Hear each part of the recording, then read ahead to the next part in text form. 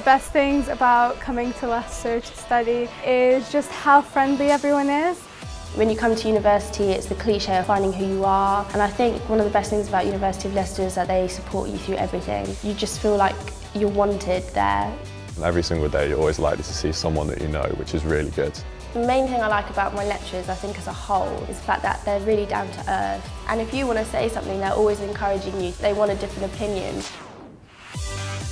City is so diverse, there's so many different festivals that go on throughout the year. We just finished Diwali and there's the Eid festivals and there's the German Christmas market that's going to happen soon, so that's quite exciting.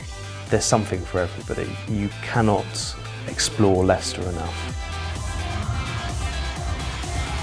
I've managed to make friends who I feel I'm going to be connected with forever. My time at Leicester has been the most amazing four years of my life, easily. And now being a third year, I'm going to do another degree just so I can stay at University of Leicester.